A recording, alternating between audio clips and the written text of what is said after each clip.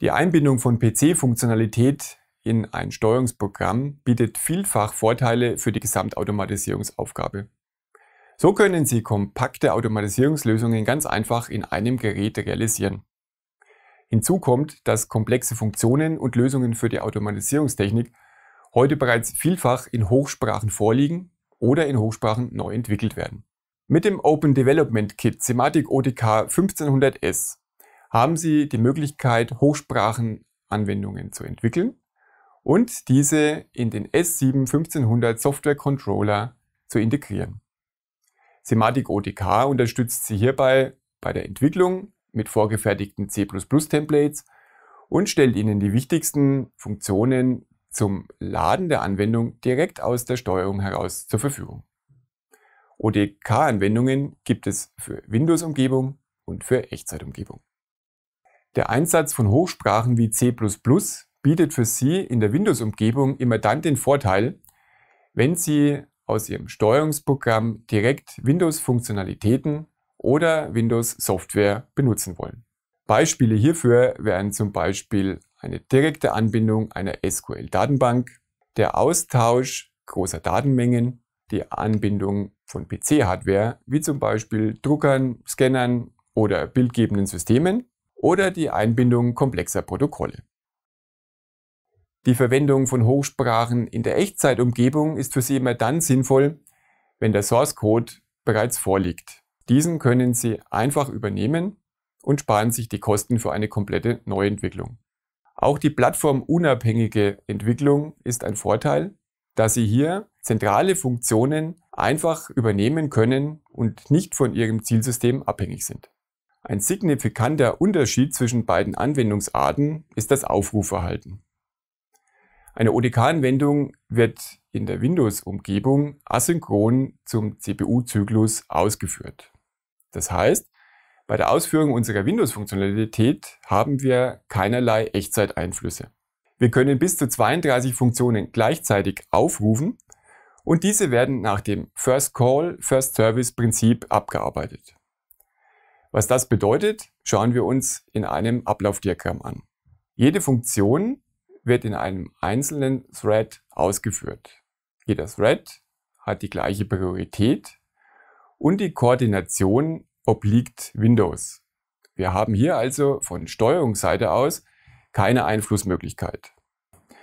Deswegen ist es hier auch nicht möglich, eine bereits laufende Funktion durch eine andere Funktion zu unterbrechen. Die andere Funktion kann erst dann beginnen, wenn die ursprüngliche Funktion korrekt abgearbeitet wurde. Ganz anders schaut es bei Echtzeitanwendungen aus. Hier wird eine ODK-Anwendung synchron zum CPU-Takt ausgeführt. Die laufende Funktion liegt hier auf der gleichen Prioritätsebene wie der aufrufende Baustein. Und hier haben wir die Möglichkeit, eine laufende Funktion durch eine höher priore Funktion zu unterbrechen. Aber damit auch genug der Grundlagen. Schauen wir uns jetzt die relevanten Schritte bei der Entwicklung einer ODK-Anwendung an. Als Entwicklungsumgebung kommt bei der Windows-Anwendung Microsoft Visual Studio zum Einsatz. Bei Echtzeitanwendungen verwenden wir Eclipse, das bereits im Lieferumfang von Semantic ODK enthalten ist. Semantic ODK stellt für beide Entwicklungsumgebungen jeweils ein C++-Template zur Verfügung, das bereits alle benötigten Schnittstellen und Verzeichnisse enthält.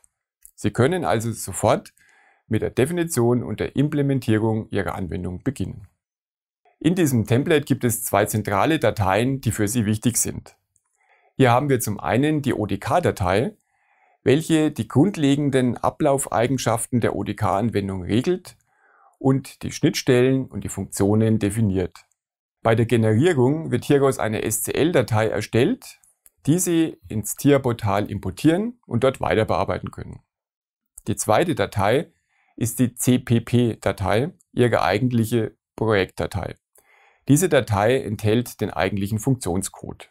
Bei der Generierung werden hieraus ausführbare Dateien erstellt, die Sie entweder in Windows oder direkt in Ihrem CPU-Programm laden können.